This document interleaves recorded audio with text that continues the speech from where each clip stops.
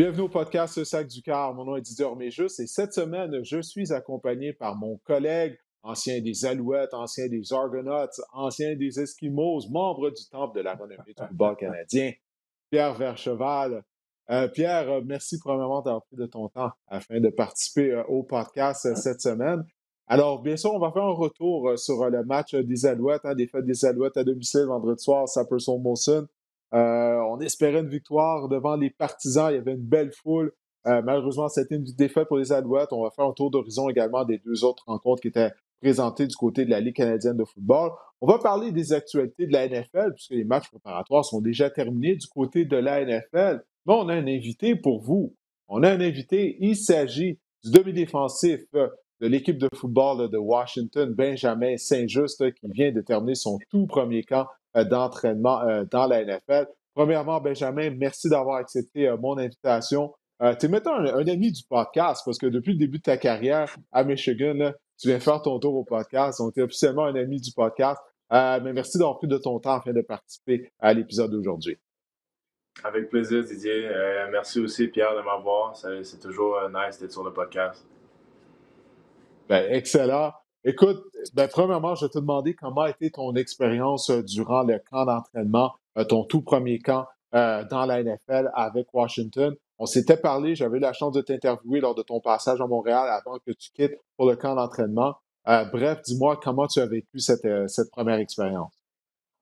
Ah, c'était, super cool. Dans le fond, comme, comme, comme on avait discuté quand j'étais à Montréal, mon but c'était de continuer sur la même lignée que j'avais euh, des, du, minicamp, du rookie minicamp et OTAs. Donc, j'avais bien performé, j'avais bien fait, j'avais une bonne éthique de travail avec un bon horaire pour rester discipliné à chaque jour. Puis c'est ça que j'ai décidé de faire durant mon premier camp d'entraînement. Puis je pense que ça a, ça, ça, ça a bien fonctionné pour moi. Ça m'a donné beaucoup de temps de jeu avec les, euh, les partants. Et, souvent, des fois, les deux second string.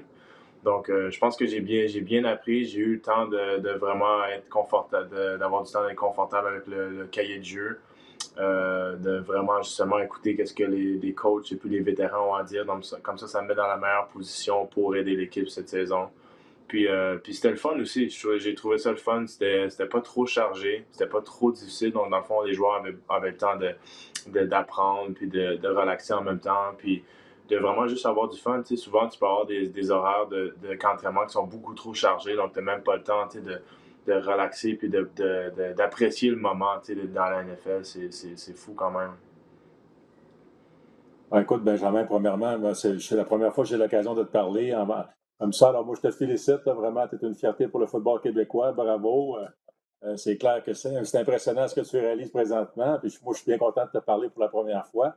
Euh, où je veux m'en aller, c'est un peu après, je sais que le camp s'est terminé, bon, il y a eu des matchs préparatoires. Est-ce que tu as déjà une petite idée de quel va être ton rôle pour la saison? Est-ce que c'est un rôle qui est appelé à grandir plus la saison avance? Est-ce que c'est des unités spéciales? Euh, quelle est aussi ta relation avec tes entraîneurs, tu sais, coach Rivera, coach Del Rio? Je pense que c'est coach Harris qui s'occupe des demi-défensifs, vous avez aussi des adjoints. comment tout ça se passe? Comment tu vois ça? Ben, en fait, moi, j'ai pas vraiment de, de, position définitive en ce moment. Donc, en tant que recrue, on a deux vétérans ici, Kendall Fuller et William Jackson, qui sont euh, en tant que partants en ce moment. Et donc, moi, c'est là que je rentre dans la rotation en tant que recrue. On va mettre dans certains packages et certains, euh, certains jeux avec l'unité partante. Puis euh, je vais, dans le fond, je vais, devoir, euh, je vais devoir gagner mon temps de jeu, je, vais devoir prouver mon, mes talents au cours de la saison pour être un partant, mais je vais, je vais, avoir la chance de jouer avec les partants euh, pendant plusieurs parties parce que c'est comme ça que ça s'est passé durant le camp d'entraînement. unité spéciale, j'ai joué un peu, mais vu que j'étais avec les partants, ils m'ont, m'ont pas mis beaucoup de, de, sur les unités, les unités spéciales. Mais non, à date, ma ma relation avec euh, Coach Rivera, Coach Del Rio est vraiment bonne. Euh, ils aiment, ils aiment euh, la manière dont je me comporte. Vraiment un joueur qui est, qui, qui recru, mais vraiment mature. Je me, je, me, je me, comporte comme un vétéran. Je suis toujours à mon affaire, discipliné. Puis je donne beaucoup d'efforts en, pratique. Donc, toutes des trucs, toutes les choses dont Coach Rivera aime vraiment beaucoup dans, dans leurs joueurs. Puis euh, je pense que depuis que je suis arrivé ici au mois de mai, on, je suis sur une bonne, une bonne relation avec les euh, Del Rio et Rivera, juste en faisant ces choses-là à chaque jour. Oui, puis on entend toujours à quel point Ron Rivera, c'est un, c'est un bon bonhomme, c'est un, c'est un homme qui est très respecté au niveau de la NFL. Naturellement, ça fait longtemps là, que son nom est associé à la NFL, faisait partie de la grande équipe des Bears de Chicago de 1985. Il est un ancien secondaire de ligne. Ensuite de ça, il a fait ses classes euh, à titre d'entraîneur adjoint, ainsi de suite. Euh, qu'est-ce que tu peux nous dire que tu as remarqué de la part de Ron Rivera qui fait qu'il est euh, aussi apprécié de, plusieurs gens à travers la NFL? c'est un coach qui comprend que il y a toujours et ça va prendre ça va prendre du temps avant d'avoir une équipe gagnante. Il y a un processus, il y a, il y a, il y a, il y a, il y a une construction d'une équipe qui vient avec la culture puis un environnement positif qui vient avec ça. Puis je pense qu'il a compris ça depuis, depuis longtemps, même avec les Panthers, même des anciens joueurs que je parle avec eux qui, qui ont joué pour Coach Rivera quand il était, avec, euh, il était avec les Panthers disent la même chose. C'est un coach qui comprend ses joueurs, un coach qui est capable de s'adapter aux différents joueurs qu'il qui, a dans son équipe, aux différents systèmes, et capable de créer une culture où les joueurs veulent jouer pour les coachs et les coachs sont capables de coacher les joueurs. Donc, ça fait un, environnement très positif où, tu peux, où les joueurs peuvent, peuvent, se développer et peuvent jouer à leur euh, capacité maximale. Tu sais, souvent dans la NFL, c'est une, c'est une business rendue à ce point-là. Donc, euh, beaucoup d'entraîneurs-chefs que, tu sais, ça fait pas mon affaire, tu es dehors, ou que ce soit coach ou plus joueur, ils vont changer puis ils vont faire leur manière. Coach Rivera, c'est un, de, ces coachs qui est capable de s'adapter pour avoir le même résultat qui est de gagner un Super Bowl. Mais en le faisant, que les joueurs et les coachs soient capables d'être ensemble et sur la même page. Donc, c'est euh, ça qui fait que Coach Rivera est un, vraiment, bon, euh, vraiment bon coach. Un bon leader. Moi, c'est une question un peu plus, là, pas, pas technique, là, mais j'essaie de mettre là, Première, pratique du camp d'entraînement, les vétérans sont tous là. OK, Benjamin, let's go, les premiers un contre un. Puis, je sais pas si tu as vécu des un contre un. Tu avais des receveurs tellement ultra rapides. Je pense à Terry McLaurin. Y a-tu des, dans la période des un contre un, y a-tu un moment donné, tu te dis, OK, wow, là, un, autre niveau cette affaire-là. Puis, il y a des ajustements que je, que je dois faire, il y a des choses que je dois apprendre. Ça, ça, ça a-tu comme été un grand choc où tu disais, non, regarde, je suis capable de compétitionner et il n'y en a pas de problème? Non, mais j'ai, pas, pas eu vraiment de gros chocs comme ça parce que de la manière dont j'approchais mes pratiques puis le, camp d'entraînement, c'était vraiment pour, me prouver à moi-même que j'avais ma place dans la NFL dans cette équipe-là. Puis en, allant sur le terrain puis en faisant mes 1 contre 1, que ce soit pratique, 7 contre 7 ou scrimmage ou n'importe quoi, moi j'avais toujours l'attitude que ma place est ici. Donc, j'ai le même talent que tout le monde et même un peu plus de talent que d'autres, joueurs. Donc, j'essaie de, de, de, me trouver un poste de partant. Donc, j'avais toujours une mentalité de gagner chaque rep que j'avais et d'être meilleur que l'autre rep que j'ai fait avant ou de la journée d'avant de la pratique avant. Donc, toujours, euh, toujours être en, mode de, de, euh, de, développer mes talents, de, développer mes, euh, faiblesses. Donc, dans le fond, je peux devenir un meilleur joueur à chaque jour. Mais, mais comme je te dirais, j'ai eu un moment comme ça, je te dirais, j'ai pas eu vraiment euh, en pratique, j'ai pas eu un moment comme ça, comme waouh, je suis dans un NFL, ils sont vraiment plus vite ou plus gros, mais j'ai juste eu un moment euh, d'enfance quand j'ai joué contre les Patriots. Puis j'étais en train de me réchauffer sur, à Gillette Stadium. Puis il y avait Cam Newton qui était juste à côté de moi en train de parler à Coach Rivers. Et Cam Newton, quand Cam Newton est rentré dans la NFL en 2011, moi, je joue encore pour les Wildcats de la rentrée de la Noudia. Je pense que j'avais 13 ans, quelque chose comme ça. Fait que là, c'est là que j'ai eu un moment comme, wow, comme je joue avec des joueurs que, j'ai joué à, aux jeux vidéo avec, où j'ai regardé toute ma vie. C'est là que j'ai eu comme, wow, c'est fou. Hein.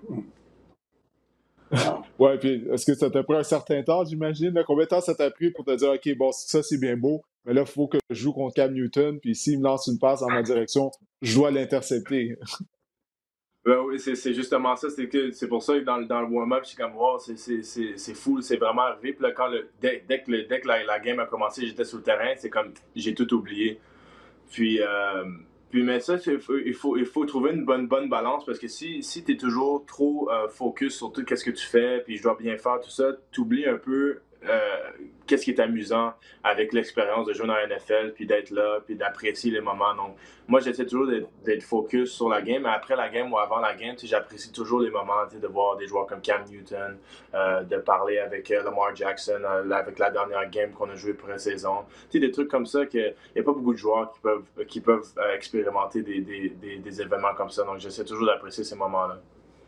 Oui, puis Pierre, si tu me le permets, je sais que c'est à ton tour de poser une question, mais je vais juste demander à Benjamin, qu'est-ce que tu as pensé de Cam Newton physiquement? Parce que moi, je l'ai déjà vu, j'ai déjà été sur place pour des matchs des Panthers. Puis quand tu le vois physiquement, c'est un peu comme un choc parce que tu dis, mon Dieu, c'est un carrière, il a l'air pratiquement d'un ailier défensif ou d'un ailier rapproché. Il est grand, il est large. Euh, qu'est-ce que tu as pensé en voyant physiquement? Ah, ben c'est sûr que Cam Newton est vraiment grand, comme 6'5, 6'6. Je pense que là, il est un peu moins gros qu'il était avant. Là, il y a une nouvelle diète euh, euh, euh, vegan. Ben, mange, beaucoup moins, mange beaucoup moins de, viande et tout ça. Donc, il a de l'air beaucoup plus slim et puis un peu plus. tu sais, je pense qu'avant, je pense qu'il jouait des fois à 2,40 ou quelque chose comme ça. Là, il est un peu plus, un peu plus mince. Ouais, dans le fond, moi, la question, c'est que tantôt, tu parlais, tu travailles sur tes forces, tu essaies de de compenser sur tes faiblesses. Bon, je pense que là où tu es rendu, tu dois pas avoir des grosses super faiblesses, là, surtout si tu es choisi en troisième ronde, tu es rendu dans la NFL. Mais c'est quoi d'après toi qui dit OK, là, pour que je sois un peu plus complet, c'est quoi les éléments sur lesquels tu dis moi, il faut vraiment que je travaille là-dessus? Euh, j'essaie toujours de travailler euh, sur euh, euh, ma, euh, comment, comment, je, comment je reconnais les formations, les concepts et les jeux à l'offense. Parce que rendu à ce niveau-là, c'est plus vraiment qui est le plus vite et qui est le plus fort, c'est qui est le plus intelligent, qui est capable d'utiliser les outils et puis euh, tes coéquipiers autour de toi pour être deux, trois, deux, trois pas avant, avant le, joueur adverse. Donc moi, si je suis capable de d'étudier le, d'étudier cahier de jeu, puis d'étudier le film, et puis de savoir que mon receveur va courir tel, tel tracé, ou il va faire ça de telle, telle manière. Donc moi, je suis, je suis à l'avance devant lui, donc j'ai pas besoin d'être le plus vite parce que je suis, je suis, le plus intelligent sur le jeu, je, comprends qu'est-ce qui se passe, puis je suis à... C'est, euh, difficile à expliquer, mais c'est vraiment un, un jeu d'échecs rendu dans la NFL. Tu des gars comme Tom Brady, je peux me mettre dans, dans mon stance en press, puis il sait déjà que je vais même pas press, je vais jouer, je vais jouer couverture, euh, euh, couverture euh, cloud ou couverture 2, il va changer le jeu. Tu sais, c'est des trucs comme ça que tu pas besoin d'être le mhm. plus fort, le plus vite, mais si tu es le plus intelligent, tu vas avoir le dessus sur l'autre équipe. Donc j'essaie de travailler sur ça. Puis dis-moi à quel point là, tu as hâte au début de la saison régulière, ça s'en vient, vous allez jouer votre premier match dimanche le 12 septembre. Là, tu as eu un avant-goût avec les matchs préparatoires. Euh, puis juste de, t'être retrouvé sur un terrain de la NFL durant les matchs préparatoires, euh, est-ce que tu as un moment, tu t'es dit, justement, tu parlais de savourer le moment, est-ce que tu as un moment où tu t'es dit, waouh, OK, je suis là, puis euh, ça, se passe vraiment, là? Ben oui, c'est à chaque, à chaque jour, à chaque partie, à chaque pratique, moi, moi puis les autres recrues ensemble, on, on parle toujours, puis on dit comme des fois, on, des fois j'oublie que c'est ma job, tu vois. je, vais, moi, je fais juste jouer au foot. J'aime ça le foot, je trouve ça le fun. Puis je m'amuse avec mes coéquipiers. Puis, tu sais, des fois, j'oublie, c'est vraiment ma job.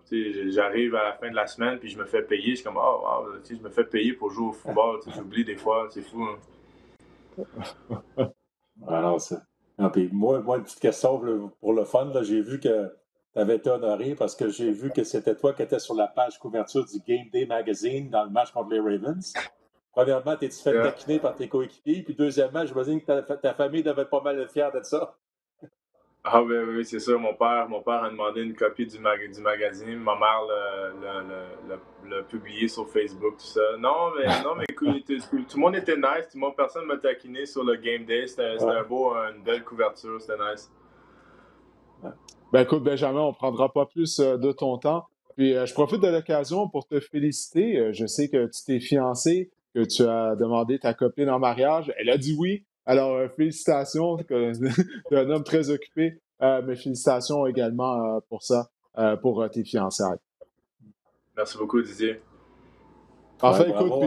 Puis, super saison 2021. Hein? Merci beaucoup, Pierre. Oui, on va te suivre, ça, il n'y a aucun doute, euh, Benjamin, tout au long de la saison. On va, te suivre, on te souhaite de connaître une excellente saison euh, avec euh, Washington. Porte-toi bien, puis merci encore d'être passé au podcast. Ouais, vas-y, Pierre, avec question. Ah, ben, j'allais dire, la bonne nouvelle pour Benjamin, c'est qu'on n'a pas parlé de leur ligne défensive. Je pense qu'il y a une ligne défensive qui peut bien faire paraître des débits défensifs à Washington. En effet, en effet, Justement, en effet ça va ça va ensemble. La, la, meilleure ligne défensive va aider la, meilleure tertiaire parce que ça, ça donne moins de temps à, couvrir les receveurs quand tu es Chase Young. Puis euh, tu as, quatre, choix de première ronde sur la ligne défensive, c'est fou. Hein. Ouais. Ouais, tu, dois avoir des opportunités de réussir des, des interceptions parce qu'ils vont presser les, les carrières adverses. ouais. OK. écoute, la meilleure des chances à Benjamin. Merci encore une fois. Puis euh, on se reparle en cours de route euh, durant la saison. Ah, je pense qu'il y avait quelqu'un qui m'a appelé en même temps, c'est pour ça. Ah, OK. Ben écoute, euh, je faisais juste te remercier encore une fois de ton temps, de ton passage au podcast. Puis on se reparle au cours de la saison sans faute. Parfait. Merci à vous deux. salut. Alors, Benjamin Saint-Just, moi, je suis toujours impressionné par son calme. tu as vu comment il nous a expliqué euh, justement son approche envers les entraînements, envers les matchs. C'est pour un joueur qui en est à sa première année dans la NFL. Puis comme il nous disait, même les, entraîneurs, Ron Rivera s'en est aperçu, Jack Del Rio. Déjà, à ce statut de carrière, il se prépare comme un vétéran. Alors, avec les atouts physiques jumelés à sa préparation, écoute, euh, moi, je crois qu'il va vraiment euh, avoir un impact dès cette année avec Washington. Ah, écoute, non, très impressionnant, posé, calme, euh, intelligent dans ses réponses. Euh. non, vraiment, c'est intéressant. Comme tu dis, je pense que tous les outils sont en place. Puis, comme il parlait aussi que d'un moment donné, c'était les joueurs autour de lui, mais les joueurs autour de lui, il y en a des bons. Que ce soit la ligne défensive, que ce soit les autres demi de coin. Fait je pense que tous les outils sont en place pour que, puisse connaître une belle carrière, on va lui souhaiter, c'est certain. Oui, oui, ça, il n'y a aucun doute là-dessus. En tout cas, on va suivre sa carrière euh, à, toutes les semaines, il n'y a aucun doute. Mais pour les gens qui ne savent pas, qui nous regardent, qui nous écoutent, Pierre, toi, tu as également participé à des camps euh, de la NFL euh, à l'époque, notamment avec les Patriots de la Nouvelle-Angleterre et les Lions de Détroit. comment tu avais vécu ces deux expériences-là? là? Oui, c'est certain que c'était des belles expériences. Malheureusement, ça n'a pas fonctionné les deux fois. Mais tu sais, Didier, c'est pas parce que tu n'as pas les résultats que tu recherches à la fin que ça n'a pas été une belle performance et que tu n'as pas appris beaucoup de choses. Euh, je dis toujours, moi, je suis devenu joueur que je suis devenu dans la Ligue canadienne en raison de ces camps d'entraînement-là parce que j'ai appris beaucoup sur moi-même. Parce que, tu sais, quand tu débarques en Nouvelle-Angleterre, les camps étaient dans Rhode Island, euh, euh Brian College, un petit collège, il faisait chaud, c'était humide. C'était encore à l'époque des six semaines de camp d'entraînement, deux entraînements par jour ah. avec les épaulières, un congé le dimanche. Mais tu sais, c'est encore le vieux style de camp d'entraînement. Ouais, différent euh, de ce que Benjamin a connu. Tu, tu toi il nous a dit tout à l'heure, il y avait du temps. C'était pas ça à l'époque du tout. Là. Fait que, fait pour ça, pour dire que, tu sais, après deux semaines en Nouvelle-Angleterre, on va dire de quoi c'est quoi dire, je m'ennuyais de ma mère. C'était dur. C'était dur mentalement, physiquement, mais surtout mentalement. Fait que j'en ai appris beaucoup sur ma résilience, j'en ai appris beaucoup sur ma, ma dureté du mental, pour utiliser l'expression au Québec. Ça, j'ai appris beaucoup, tu sais, évidemment, tu côtoies d'autres joueurs, tu apprends beaucoup les techniques, tu apprends, de la technique, parce que, tu sais, tu pars à l'université Western, tu t'en vas à la NFL, tu sais, veux, veux pas, il y a quand même une marche qui est assez élevée. Alors, euh, puis j'ai été chanceux, j'avais des, on avait toujours, tu sais, puis c'est encore sur la ligne à l'attaque, il y avait des bons vétérans euh, qui m'ont pris sous l'oreille, qui m'ont appris des choses, qui ont pris soin de moi pendant le camp. Euh, puis c'est drôle parce que je sais que tu es un fervent amateur de football universitaire. Il y avait un centre à l'époque qui s'appelait Trevor Matic. Trevor Matic, qui est sur le football universitaire. Oui, oui, oui, oui, qui travaille, oui, oui, comme, euh, comme analyste. À ESPN, c'est le football universitaire. Oui, oui, Trevor oui. Matic, OK, oui, oui, oui, oui, oui. ah oui, OK. il, il, était là à, parce que tu as participé au camp des Patriots. C'est lui le centre. Ah oui. Oui, lui, il avait joué, euh, tu sais, sur le bloqueur vedette à l'époque s'appelait Bruce Armstrong. Écoute, les carrières, tu avais Steve Grogan, euh, Doug Flutie, Tony Eason, euh, les receveurs vedettes, Irvin Fryer, Stanley Morgan. Ça, c'était en quelle année, ça? Ça, 88. 88, donc quand même trois ans avant, ils avaient participé au Super Bowl contre les Bears, ouais. Ouais, ouais, exactement. Fait que Andrew Tippett était le, le secondaire vedette. Jeff Fiegels était un batteur de dégagement recru. Jeff Fiegels, il a joué, euh, je pense, Il n'a pas joué en 20 ans? Ouais. Ben oui, c'était fou. Là. Lui, lui, il commençait, c'était un, un, batteur recru. Je travaillais beaucoup avec lui parce que moi, ma porte d'entrée au camp d'entraînement, c'était j'étais spécialiste des longues remises aussi, en plus de jouer sur la ligne à l'attaque. Puis l'entraîneur des unités spéciales, un certain Dante Scarnecchia. Ah oui, une unité spéciale. Des ben unités oui, il faisait unité spéciale et Elie rapproché à l'époque. Ah oui. Il lui, est devenu un grand entraîneur de ligne à ben l'attaque, un des meilleurs dans l'histoire de la NFL. Puis lorsque tu étais à Détroit, est-ce que, est que Barry Sanders était déjà là? Que... Barry Sanders était là, un chic type. Écoute, moi, j'ai toujours souvent, je compte cette histoire-là, Barry Sanders. Juste pour euh, un peu expliquer aux gens que ce gars-là, il est au temple de la renommée, c'est un des plus grands, un des meilleurs, mais une humilité exceptionnelle. Euh, il y a une journée, je pense que ça devait être un dimanche, souvent c'était le dimanche, c'était le congé, puis euh, déjeuner optionnel, mais moi, bon, on est à l'hôtel de l'équipe pendant le camp d'entraînement, j'ai rien d'autre à faire, puis je suis un gars de ligne en attaque, c'est sûr que je ne sauterais pas un repas gratuit, Didier. c'est clair. ça ne pas le déjeuner? Je m'en vais, je m'en vais. 8 heures, tu n'as pas mangé? ouais. Il n'y a personne, personne dans la cafétéria, personne dans la salle de l'hôtel euh, où c'est qu'il y avait le buffet. Je me sers, moi je vais m'asseoir. À un moment donné, j'entends quelqu'un qui rentre, mais j'ai le dos tourné à la personne, il s'en va se faire son assiette. Il arrive à côté de moi, il dit Hey, je peux-tu m'asseoir à côté de toi? Ben, je, là, je me lève la tête, c'est Barry Sanders. Il dit Ben, moi, je dis Oui, oui. Puis là, il se présente, il me donne la main Salut, je suis Barry. Euh, oui, mais c'est qui, toi, là, là tu sais? Mais là, on se met à jaser de, on se met à jaser de tout et de rien. Tu sais, moi, là, quand, Barry Sanders, quand je le vois à la télé, quand j'entends son nom, moi, c'est. Tu as toujours ce souvenir-là. Au-delà du grand joueur qu'il a été, c'est aussi une grande personne. Mais là, malheureusement, ça n'a pas fonctionné non plus, mais on avait un, joueur, un entraîneur de la ligne en attaque qui était un grand technicien. J'ai appris tellement de techniques, tellement de jeux de différents que j'ai ramené dans la Ligue canadienne quand je suis revenu par la suite.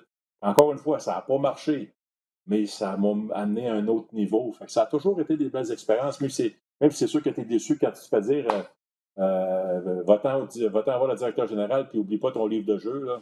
Euh, non, c'est hein. Quand tu te fais cogner sur ta porte à 5-6 heures du matin, c'est pas le fun, là, mais écoute. Euh, mais c'était des super expériences, je ne le regrette pas. Puis le, le, le gars qui m'avait mis sous contrat, c'était Kevin Colbert qui était directeur du, personnel euh, professionnel, mais qui est rendu directeur général des Steelers de Pittsburgh présentement. ça fait longtemps qu'il est DG des Steelers en plus, ouais. Ouais. Fait que, tu sais, il y a toujours, c'est le fun, ah, quand je revois ces noms-là, -là, c'est toujours, euh, toujours intéressant d'avoir un peu le cheminement de ces personnes-là. Ouais, ben, ça montre à quel point le monde du football est petit, hein, également, là. Du moment où tu connais hein, quelqu'un à un endroit, euh, c'est très petit. Il n'y a pas 6 degrés de séparation. Je pense qu'il y en a deux euh, dans le monde du football, que ce soit au Canada ou aux États-Unis. Ah, ben, je suis content que tu aies pu partager ces anecdotes-là avec les gens qui nous écoutent ou qui nous regardent. Il n'y a pas beaucoup de gens qui savent que tu as participé à des camps d'entraînement, à deux camps d'entraînement de la et, tu sais, et tu sais, Didier, que le Journal de Montréal avait fait une histoire à l'époque. C'était Serge Amiot qui était le, gars qui faisait beaucoup d'histoires dans le Journal de Montréal. Oui, oui, oui, je me souviens de Serge Amiot, ben oui. Et il m'avait déclaré, c'est lui qui m'a déclaré comme premier Québécois de l'histoire à participer dans un camp de la, NFL. Parce que cette année-là, tu avais aussi Tommy Kane, qui était un Montréalais. Ancien receveur de passe, oui, ben oui. Mais lui, avec, lui faisait son camp avec les Seahawks de Seattle. Donc, il était trois heures en retard sur moi. Donc, moi, j'ai ah! officiellement embarqué sur le terrain trois heures avant lui, même si le temps commençait la même journée. Fait que c'était la blague un peu. C'est ce qui faisait de moi, entre guillemets, officiellement le premier. ben, ça, c'est comme quand une femme a deux jumeaux. Hein? Donc, mais qui est sorti le premier? Donc là, ça a été toi, finalement, tout juste avant euh, Tommy Kane. bon, ben ça, c'est excellent. Ah, ben écoute, Pierre, avant de se tourner vers la Ligue canadienne, étant donné qu'on parle de NFL depuis le début du podcast, on va y aller euh, brièvement. On va faire une revue des, actualités qui sont sorties au cours des derniers jours euh, du côté de la Ligue nationale de, football. On va commencer avec euh, les Bears de Chicago. c'est officiel. Matt Nagy nous avait prévenu avant même le début du camp d'entraînement. Il avait dit qu'Andy Dalton, c'était son homme, qu'il allait être le carrière partant lors de la première semaine d'activité. On s'est dit, on va attendre un instant. On va tout de même voir ce que Justin Fields peut faire. Même si Fields a démontré de belles choses lors des matchs préparatoires, c'est Andy Dalton qui va être le carrière partant des Bears au début de la saison. Tu penses quoi de cette décision de Matt Nagy? Ouais, écoute, moi, je suis sûr que j'aurais passé un autre appel. C'est peut-être Matt Nagy aussi qui se dit, puis qui dit on va protéger la concession. Euh, il est conscient qu'il n'y a pas une grosse ligne à l'attaque, il est conscient qu'il n'y a pas des grands receveurs, il est conscient que peut-être ce n'est pas une bonne idée d'envoyer Justin Field à l'abattoir tôt dans la saison. Euh, peut-être mm-hmm. c'est plus simple d'envoyer Andy Dalton le, premier dimanche soir à Los Angeles contre les Rams, contre la défense Aaron Donald. Aaron Donald. Peut-être que c'est par pitié, non, mais tu sais, c'est sûr qu'on fait des blagues avec, avec, ça, mais sûrement que ça a dû, ça a dû être discuté. Fait qu'on va envoyer Andy Dalton à l'abattoir peut-être le premier mois. On va voir comment on va s'améliorer. Moi, je pense que Justin Field, il va jouer cette année, je ne peux pas croire. Là. Euh, parce que les Bears, c'est pas comme si les Bears avaient grosse défensive, unité spéciale solide, grosse ligne à l'attaque, gros jeu au sol. Tous ensemble, avec Andy Dalton, tu pourrais aller loin. On n'a pas ça. Euh, puis tu sais, c'est une ligne en attaque qui est mauvaise, mais à un moment donné, un corps mobile va t'aider aussi. Alors, c'était un peu la discussion, j'imagine, à Chicago. Mais moi, j'ai de la misère à croire. Je ne prends pas un carrière 11e au total dans la première ronde pour, l'asseoir sur le banc, comme ça. Là. Non, je non, sais que les Chiefs l'ont fait, je sais que les Chiefs l'ont fait, mais regarde, avec, avec Patrick Mahomes, il, il, il s'est resté assis, mais Alex Smith. Oui, mais on avait Alex Smith. Ben oui, mais c'est ça. Souviens-toi, lors de la première moitié de cette saison-là, Alex Smith, on parlait de lui comme un candidat potentiel au titre de joueur par excellence de la NFL. À quel point il avait bien joué euh, au début de cette saison. Et puis, euh, écoute, Andy euh, Alex Smith est un meilleur carrière à ce stade-là de sa carrière qu'Andy Dalton ne l'est présentement. Donc, je ne crois pas que c'est vraiment une, une, très bonne comparaison. Il y a bien des gens dans les médias qui font cette comparaison-là, mais je crois que c'est une comparaison boiteuse. Mais mm. Tôt ou tard, oui, je suis bien d'accord avec toi que Justin Fields, on va le voir sur le terrain. C'est pas une mauvaise chose. Regarde, comme, comme tu l'as dit, il faut protéger la concession. Euh, pourquoi envoyer Fields tout de suite euh, dans la mêlée, même si selon moi, euh, son talent est indéniable, mais il vaut mieux être patient. Il n'y a jamais une carrière de carrière qui a été déroutée parce qu'on a trop attendu pour le faire jouer. Mais il y en a eu plusieurs qui ont été déroutés parce qu'on l'a fait jouer trop long. On a fait jouer des jeunes carrières trop rapidement derrière de mauvaises lignes à attaque. Ils ont perdu leur confiance éventuellement.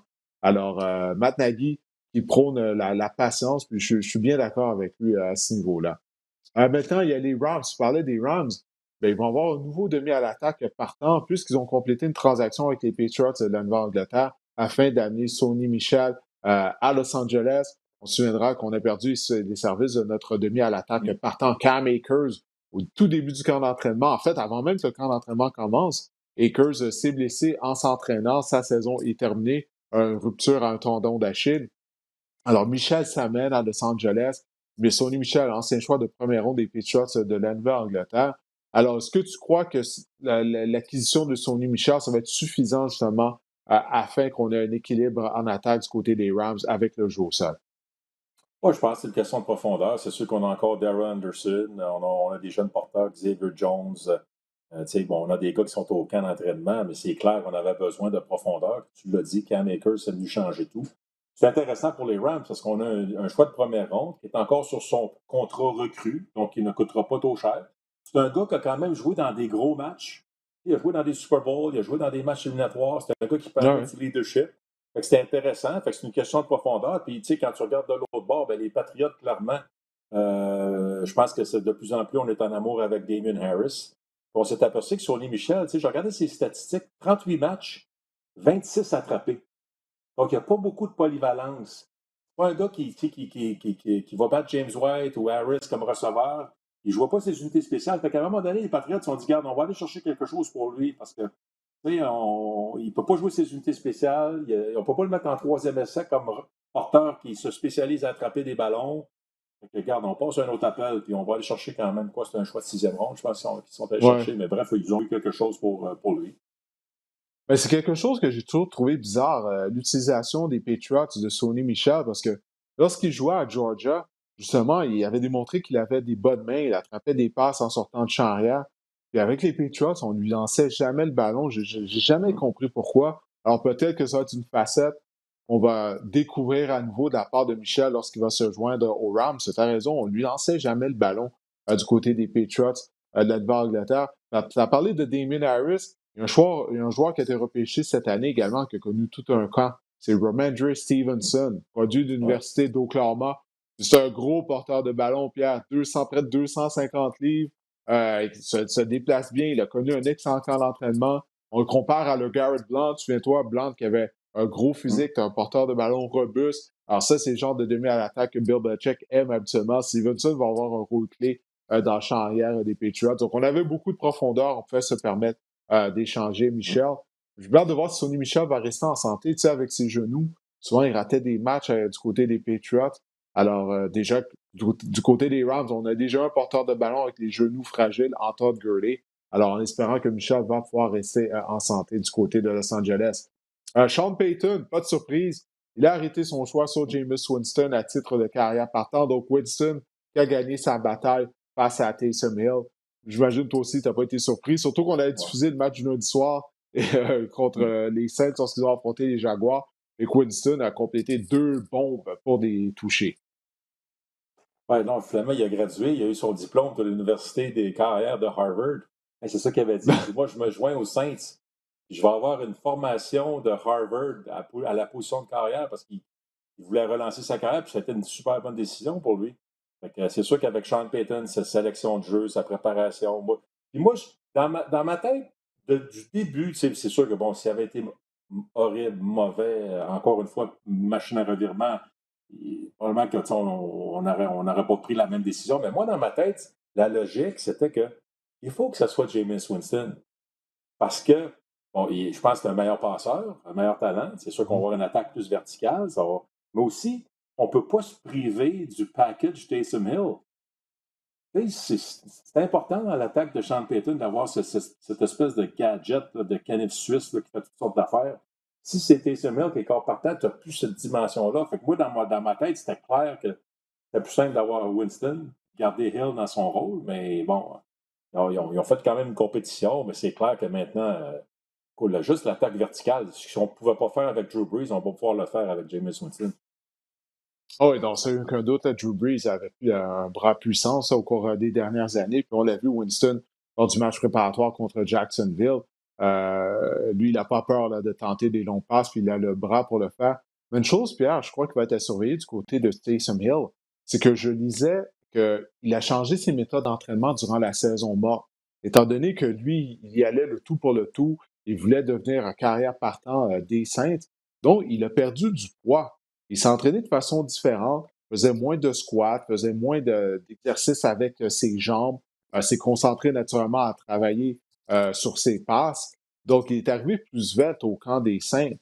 Est-ce qu'il va être le même joueur explosif, le même joueur robuste qu'il est, qu'il a été par le passé dans son rôle d'homme à tout faire du côté de l'attaque des Saints? C'est ça, c'est cette combinaison mmh. de, de, vitesse, de rapidité, son cabaret, sa force, c'est ça qui faisait de lui un joueur unique, naturellement avec ses talents de passeur. Mais ça va être quelque chose à surveiller si on l'utilise dans ce rôle-là et qu'il va être aussi productif étant donné qu'il a changé son corps, arrivé plus vite au camp d'entraînement. Alors, euh, ça, ça, sera à, surveiller. Ça, il n'y a aucun doute là-dessus.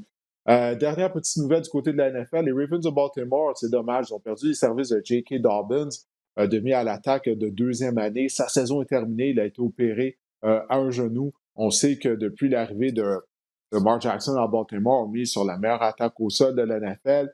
Mais Dobbins, il semblait prêt à éclore cette année. L'année passée, il était recru au début de l'année, on ne lui donnait pas beaucoup de ballons. Mais clairement, vers la fin de la saison, c'était lui le demi à l'attaque le plus talentueux des Ravens. Ouais, non, c'est dommage. Puis la tradition va continuer là, parce que je regardais les statistiques des, des Ravens. Dobbins était le numéro 1 en 2020, Mark Ingram en 2019, Gus Edwards en 2018, Alex Collins en 2017, Terrence West en 2016 et j'arrête en 2015 avec Justin Forsett. Ça oh fait depuis 2015 que c'est toujours un nouveau porteur de ballon qui a le plus de verges que les porteurs de ballon et les Ravens. C'est fou. Ça, ça risque de changer encore une fois, évidemment, avec la blessure à, J.K. Dobbins. Mais effectivement, c'est dommage parce qu'écoute, lui, c'était pas loin. C'était quoi? C'était 6 verges par course. Très physique. Oui. il amenait une dimension. Une des meilleures moyennes de la NFL. Fait que là, écoute, c'est sûr que là, on va se rabattre sur le, peut-être un joueur très sous-estimé, moi, je pense, le Gus de Boss, le Gus Edwards, qui ne fait pas du mauvais boulot, qui, je pense qu'il est un gars sous-estimé à travers la Ligue.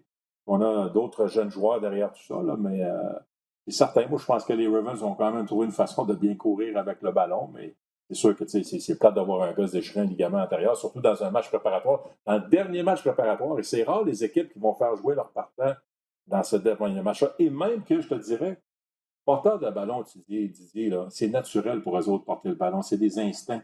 As-tu vraiment besoin de jouer des matchs préparatoires à la position de porteur de ballon? c'est sûr que c'est mm. facile pour nous de, parler de ça après les faits, mais sûrement que John Harbaugh s'est fait poser des questions là-dessus. Oui, ouais, on l'a questionné, les journalistes ont posé des questions. Mais à, un moment donné, bon, tu veux faire jouer tes joueurs afin de t'assurer qu'ils vont être prêts quand la saison va commencer. Surtout que cette année, c'est comme ça, on a une semaine de congé après les matchs préparatoires. Là, les matchs préparatoires se sont terminés dimanche. Et puis là, il n'y aura pas de match jusqu'à jeudi le 9. Et le premier dimanche d'activité, ça va être dimanche le 12. Euh, donc, situation particulière, étant donné qu'il y a juste trois matchs préparatoires cette année. Je peux comprendre Arba d'avoir voulu donner du temps de jeu à J.K. Euh, Dobbins. Mais en ce cas, c'est malheureux. Euh, l'ancien joueur en nous ça fait toujours mal de voir un joueur se blesser, mais encore plus là, lors de matchs préparatoires, lors du tout dernier match préparatoire. Bon, on va se tourner maintenant du côté de la Ligue canadienne de football. Euh, les Alouettes jouaient vendredi soir. Ça se passait au Stade Molson. C'était le premier match qui avait lieu à Montréal euh, depuis novembre 2019. Il y avait une belle foule. Euh, la capacité maximale était de 15 000 personnes en raison de la pandémie. Il y avait près de 15 000 personnes, 14 000 et des poussières. Et les gens qui étaient là, ben, tu voyais qu'ils avaient soif de football, qu'ils étaient contents de revoir mmh. les Alouettes sur le terrain du Stade Molson. Il y avait vraiment une belle ambiance, une belle soirée belle température, la canicule était terminée, donc on était bien à l'extérieur. Mais malheureusement, Pierre, ça a été une défaite de 27 à 10. Les Tiger Cats ont cassé le party, comme on dit en bon québécois. Et la, première chose qu'il faut parler, c'est la performance du carrière Vernon Adams. Euh, Adams il avait connu un mauvais match à Calgary, connu un mauvais match contre les Tiger Cats de Hamilton, très imprécis, et ses propos après la rencontre, il avait l'air d'un joueur qui avait perdu confiance lui-même, se questionnait. Mmh. Alors, qu'est-ce que tu as pensé de sa performance sur le terrain et ensuite de ça, de ses propos après le match? Oui, c'est certain que premièrement, la recette des Alouettes, c'est la première recette, c'est le premier match, c'est 29 courses, 22 passes. après ça, quand on perd à Calgary, 24 courses, 42 passes. C'est pas ça. On perd contre Hamilton, 18 courses, 37 passes. C'est pas ça la recette. en partant, Vernon Adams n'est pas le genre de corps qui doit lancer 35, 40, 45 passes par match. Oubliez ça tout de suite. Ça me prend de l'équilibre. Qu'on n'a pas eu d'équilibre, on n'a pas eu de distribution. Et euh, Vernon Adams, là, j'ai trouvé qu'il manquait d'anticipation. C'est pas qu'il n'était pas capable de figurer ce qui se passait devant lui. Il lançait en retard, il lançait toujours derrière ses receveurs ou il lançait en retard, puis son interception, c'est parce que tu lances dans le flanc en retard, combiné au fait que le receveur n'a pas été très combatif pour revenir vers le ballon. Là, ça n'a pas aidé. Là. Mais mmh. euh, c'est clair qu'il se pose beaucoup de questions. on dirait qu'il veut trop être parfait. Et moi, je trouve que là, on ne l'aide pas avec la sélection de jeu. Il est toujours dans la pochette. C'est un gars qui doit utiliser ses jambes. C'est un gars qui doit bouger. Je sais qu'on est conscient chez les Alouettes. On se dit, et on l'a avoué, ils l'ont avoué ouvertement que on n'est peut-être pas super équipé à la position de numéro 2 là, chez les carrières. Fait qu'on ne veut pas voir Vernon Adams se blesser. Mais il y a, un équilibre qu'il faut avoir entre. Oui, je sais qu'on ne veut pas qu'il se blesse, mais maintenant, on ne peut pas y mettre un carcan lui demander de faire des choses que c'est pas ça, dans sa nature. Moi, 37, 35 ou 37 passes de la pochette, c'est pas ça, Vernon Adams. Il mm-hmm. faut qu'il utilise ses jambes. Il faut, moi, je veux qu'il regarde les bandes vidéo de Cody Fajardo, puis je veux qu'il joue comme ça. Et oui, il va peut-être avoir un risque de blessure, mais à un moment donné, il faut essayer de trouver le juste milieu. Oui, non, ça, ça, je suis d'accord avec toi. Puis comme tu l'as dit, il essaie vraiment d'en faire trop. Lui-même, il a dit, il a dit qu'il ressentait la pression des carrières partant euh, parce qu'il ne faut pas oublier, Vernon Adams, c'est la première fois depuis le début de sa carrière dans la Ligue canadienne de football qu'il commence une saison à titre de carrière partant. Alors, il dit qu'il ressent la pression bon, de, de, vouloir bien faire, de justifier le contrat que l'organisation lui a donné, de faire plaisir aux partisans également. Donc, ça explique possiblement pourquoi il essaie euh, de trop en faire. D'ailleurs, euh, aujourd'hui, après la séance d'entraînement, lors de la rencontre avec les médias, eh il a dit qu'il s'est entretenu avec Carrie Jones et que Carrie Jones, qui est lui-même un ancien carrière étoile de la Ligue canadienne, ben, il lui a dit que, que lui aussi, il avait ressenti ça au début de sa carrière, lorsqu'il est devenu carrière partant, cette pression, cette tendance à vouloir trop en faire. Alors, s'il y a quelqu'un qui peut bien euh, conseiller Vernon Adams, c'est bel et bien Carrie Jones parce qu'il a connu tout ça. Mais il va falloir que Vernon Adams joue mieux que ça, parce que c'est simple s'il continue d'offrir ce genre de performance on ne pourra pas gagner. Tu as parlé du manque d'équilibre. On était prêt. Là. Du côté des Tiger Cats, Pierre, je crois qu'on n'avait pas oublié la performance de 200 verges au sol en 2019 que Stanback avait eu à Montréal contre Hamilton. On l'avait sur le cœur. On est arrivé, on était prêt. Il n'y avait pas de corridor de course. Euh, puis tu as mentionné durant la rencontre, on avait mis des alouettes au défi de nous battre avec le jeu aérien. On s'est dit, si on perd, ce ne sera pas parce que Stanback va nous piler sur le corps pour 200 verges. On l'a complètement arrêté, seulement 40 verges en 12 courses. Non, absolument. Puis il va falloir que Vernon Adams et les Alouettes s'attendent à voir ça encore une fois. Pourquoi pas? Jusqu'à temps, que les Alouettes soient capables de prouver qu'on peut lancer le ballon tôt dans le match pour mieux courir éventuellement plus tard dans le match. Il y a des fois que tu cours pour ouvrir le jeu, le jeu de passe, mais là, il faut lancer le ballon pour pouvoir ouvrir le jeu au sol. Alors, on va défier Vernon Adams, on va défier les receveurs. Puis, les receveurs aussi, c'est décevant. c'est fou parce que tout ce qui fonctionnait en 2019, les, les, les mauvaises passes de Vernon Adams qui restaient des, passes incomplètes, ça devient des interceptions en 2021. Les attrapés, les attrapés contestés de 2019, je ne les vois pas en 2021. On dirait que tout ça, ce qui fonctionnait en 2019, ça ne fonctionne pas pour l'instant.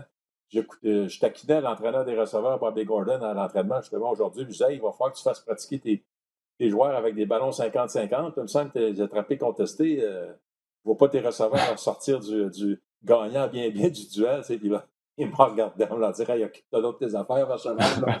Et, euh, on, parce qu'on on, on, se taquine tout le temps. C'est un ancien coéquipier à Toronto, fait que je le connais bien. C'est un bon gars. Mais tu sais, je, je rigolais avec ça, mais c'est un peu ça. Là, euh, on dirait que les receveurs aussi doivent nous en donner plus. Beaucoup de passes échappées, les attrapés contestés. On n'aide pas le carrière non plus, même si le carrière, des fois, ça n'aide pas lui-même. Oui, non, c'est vrai. Écoute, moi, je pense à Eugene Lewis. Euh, en 2019, les attrapés contestés, il les réussissait, il les réussissait constamment. Puis ça a commencé dès le premier match de la saison, souviens-toi, Edmonton dans la zone début. Il a échappé une passe, c'était un attrapé contesté, pas un attrapé facile à faire, on s'entend là-dessus.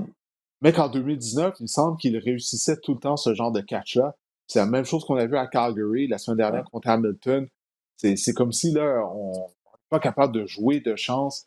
Euh, mais est-ce que j'ai euh, bien hâte de voir ça, parce que là, on va affronter euh, Ottawa, une équipe qui se cherche. Se cherche en attaque, mais la défense du Rouge et Noir joue bien. Par contre, on aura la chance d'en parler un peu plus tard on a accordé également beaucoup de gros jeux du côté des Alouettes, des gros jeux sur des unités spéciales. Premier jeu de la rencontre, long retour de Frankie Williams. On le dit tout le temps, que les unités spéciales donnent le ton à une rencontre. Là, c'est l'exemple parfait. C'est le premier jeu d'un mm. match de football. Toujours roboté d'envoi. Et les Tiger Cats ont gagné ce jeu-là à plate couture. C'est dommage que les unités spéciales avaient bien fait, mis à part des mauvaises remises lors des deux premières semaines. Ouais.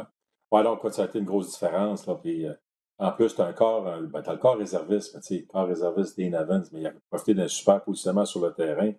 Mais Frankie Williams est excellent, plusieurs retours. Puis, sais, les Tiger Cats là, ont démontré de la fierté parce que, tout ce qu'ils n'ont pas fait dans, lors des deux premiers matchs, ils l'ont fait lors du match contre les Alouettes. Ils ont eu, écoute, la première séquence, tu as, le retour de 49 verges, tu as la passe de tuer de 30 verges. Tu as deux jeux explosifs sur la première séquence. Il y en avait un en deux matchs.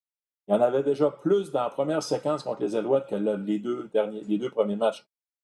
On été l'équipe la plus fusée euh, de façon générale. On a fait des jeux explosifs, on a fait des gros jeux en défensive, on était meilleurs les unités spéciales.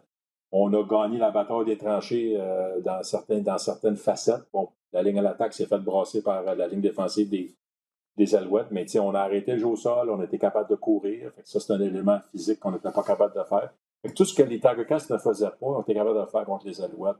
ça, c'était, euh, ça, c'était bien frustrant à voir. Puis les unités spéciales, mine de rien, je regardais les statistiques. 15 euh, séquences offensives chacun, chaque équipe. Hamilton partait à, son, à sa ligne de 46 en moyenne, puis les Alouettes partaient à leur ligne de 30 en moyenne. si tu vois 15, 15 fois 16 verges, c'est 240 verges de terrain. Là, les verges cachées. Les verges cachées. Ouais. Les verges cachées, Pierre. On en parle souvent. C'est un bel exemple de ça. Ouais que tu viens d'illustrer. Oui, on sait aucun doute là-dessus. Euh, tu as mentionné bon, la ligne d'attaque d'Hamilton qui s'est fait brasser par la ligne défensive.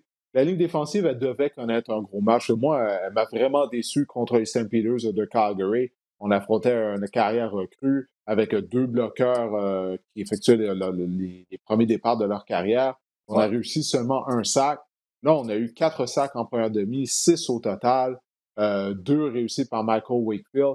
Donc, au moins, la ligne défensive, elle, elle a su rebondir après sa contre-performance contre les St. Peters de Calgary. Maintenant, question de savoir est-ce que l'attaque va pouvoir rebondir vendredi soir à Ottawa.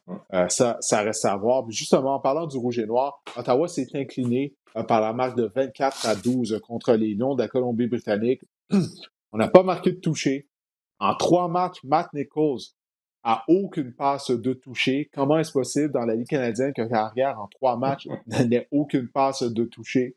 C'est ça, moi, écoute, ça fait quelques semaines, là, j'en parle durant le podcast. Matt Nichols, on, avait lu des textes, je me souviens, j'avais lu des textes de Tim Baines, euh, qui couvre Ottawa pour le Ottawa Sun, durant le cadre d'entraînement, Pierre, et il disait que Matt Nichols ne semblait toujours pas remis de l'intervention chirurgicale qu'il a subie à une épaule qui avait mis fin à sa saison 2019. Et les matchs ont commencé, puis on s'est rendu compte, ben effectivement, il n'a plus de bras, tente rarement de longs passes.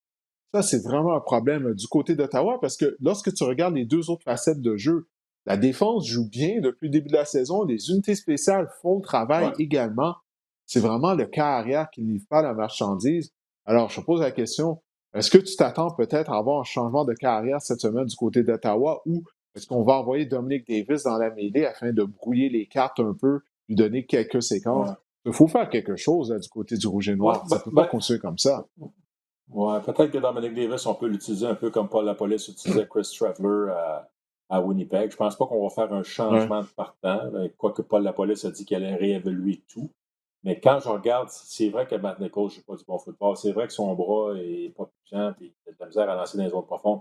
En même temps, sa ligne à l'attaque, trois lignes à l'attaque différentes en trois matchs. Son, groupe de son groupe de receveurs, Didier, je ne pense pas que c'est un groupe de receveurs qui fait peur à personne, ça. Donc, je, donc, je me dis, c'est pas juste Matt Nichols, même si c'est quand même lui qui doit en donner plus, mais son, ses receveurs ne sont pas. C'est pas un grand groupe. Sa ligne à l'attaque en arrache. L'attaque en général, il n'y a pas de jeu explosif, il n'y a pas de gros jeu. Du football à trois essais, c'est pas vrai que tu vas faire 20 jeux de 5 verges d'affilée.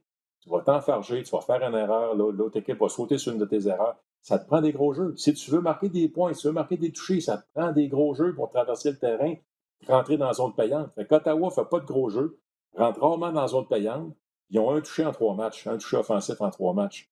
C'est ça, pour moi, Incroyable, le hein? plus gros problème. C'est sûr que pour générer des jeux explosifs, ça te prend du temps. Ta ligne est-elle capable de t'en donner? Pas, pour l'instant. Tes affaires, tu sais, c'est, mm-hmm. tes receveurs doivent se démarquer. Euh, c'est, en tout cas, c'est pour l'ensemble de l'œuvre, on va dire de quoi. C'est clair que Paul la police, euh, il n'a pas le même talent offensif qu'il avait à Winnipeg, hein, on s'entend là. Non, non, pas la, pas la même ligne à l'attaque, pas la même carrière, pas les mêmes receveurs, ça n'a aucun doute euh, là-dessus.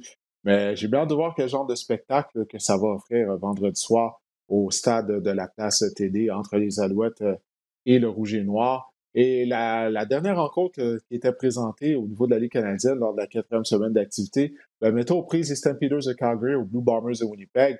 Les Bombers ont gagné de justesse 18 à 16. René Paradez, le spécialiste des bottées de précision des Stampeders, a raté une tentative de placement de 52 verres sur le dernier jeu euh, du match. Euh, mais je pose la question, Pierre, parce que ça a été un match à bas pointage, 18 à 16, match final. Et lorsque je regarde euh, les, matchs qui ont été joués depuis le début de la saison là, à travers la Ligue canadienne, c'est souvent à bas pointage. Qu'est-ce que tu penses de la qualité du, du football, la qualité de, de ce match-up, premièrement entre les St. Peters et les Blue Bombers, mais également en général, depuis le début de la saison au niveau de la Ligue canadienne, parce que les équipes de peine et de misère sont en mesure de marquer 30 points, et plus souvent qu'autrement, ben, elles n'atteignent même pas la marque des 30 points. Ben, d'entrée de jeu, historiquement, c'est toujours ça va toujours plus facile. C'est toujours plus facile pour l'unité défensive en début de saison. Et je pense que c'est encore c'est encore plus amplifié avec tout ce qui, est arrivé, le fait que bon, il n'y a pas eu de football pendant une saison, qu'en entraînement, mm-hmm. bon, sans épaulière, tout ça, pas de match préparatoire. Fait que, tu sais, toujours, moi, je dis toujours, en attaque, il faut que tu bâtisses. En défensive, il faut que tu démolisses. C'est pas mal plus facile de démolir que de bâtir. C'est pas mal plus vite de démolir que de bâtir. Tu sais, bâtir, là, ça prend, tu sais, faut... En tout cas, tu sais, je fais l'analogie à la construction un petit peu. Mais, c'est ça pareil. Ça paraît. Ça paraît. Écoute, à part, à part Saskatchewan, là, qui, a, marqué deux fois plus de 30 points au 30 euh, des deux premiers matchs, c'est difficile. Puis ça se passe surtout dans la zone payante. Hein. C'est quand il y a moins d'espace, quand c'est plus serré. On dirait que le, manque de synchronisme et de, timing des attaques est encore plus évident. Mais je pense que ça va se replacer éventuellement. Là, mais clairement, les, unités défensives vont dessus pour l'instant. Oui, non, ça, il n'y a aucun doute là-dessus. En tout cas, ça va être quelque chose à, surveiller. Euh, comme as mentionné, là, ça faisait près de deux ans que personne n'avait joué. C'est une saison particulière parce que là, c'est déjà la fête du travail qui s'en vient, puis la saison la Ligue canadienne vient de commencer. Habituellement, la fin du travail, c'est la mi-saison du côté de la Ligue canadienne, puis la saison de la NFL commence. Mais là, la saison de la NFL va commencer, mais celle de la Ligue canadienne est encore jeune. C'est tout à fait bizarre. C'est la semaine dernière, j'avais entendu Ah, le week-end, la fête du travail s'en vient. J'étais comme, hein? comme comment? la saison de la Ligue canadienne vient de commencer. J'étais comme, ben oui, c'est vrai, on est presque rendu au mois de septembre déjà. Euh, donc, euh, non, c'est vraiment une saison particulière. Ben écoute, euh, espérons pour notre plaisir à nous et au plaisir des gens qui nous écoutent, euh, que j'anticipe sont majoritairement des partisans des Alouettes, que les Alouettes vont pouvoir mettre fin à leur séquence de défaites vendredi soir contre Ottawa. Parce qu'imagine-toi, on a congé la semaine prochaine côté des Alouettes. écoute, il fallait partir en semaine de congé avec trois défaites de suite et une défaite contre Ottawa euh, qui se cherche, ce serait vraiment pas de bonne chose. Donc, on, va voir qu'est-ce qui va arriver. non, on ne veut pas aller là, on va, va pas y passer, on va pas y passer tout de suite. On, va voir qu'est-ce qui va arriver vendredi soir à Ottawa. Bon, ben écoute, Pierre, on a fait le tour. Euh, je te remercie euh, de ton passage, de t'être joint à moi pour euh, cette édition du podcast. Ça t'a permis de rencontrer de façon virtuelle ah Benjamin Saint-Just, mais quand même, tu l'as rencontré. Alors, bien sûr, on va suivre ses performances tout au long de la saison. Et la saison de la NFL qui va commencer jeudi soir le 9 septembre, les Buccaneers de Tampa Bay qui vont recevoir les Cowboys de Dallas. Le match sera bien sûr diffusé sur les ondes de RDS. Est-ce que Dak Prescott sera là? Je ne sais pas, Pierre. On ne l'a pas vu depuis la première semaine du camp d'entraînement. Les Cowboys n'arrêtent pas de nous dire non, non, c'est correct. Il va être là lors du début de la saison régulière. Il va être là. il ne s'est toujours pas entraîné depuis la première semaine. En tout cas, on va voir ce qui va arriver avec Dak euh, et les Cowboys. Mais euh, ça, c'est à surveiller au cours des prochains jours. Donc, euh, écoutez, pour les gens qui nous ont regardés sur YouTube, euh, sur le site web du ou qui ont téléchargé euh, le podcast de façon audio, ben, on vous remercie et on se reparle la semaine prochaine.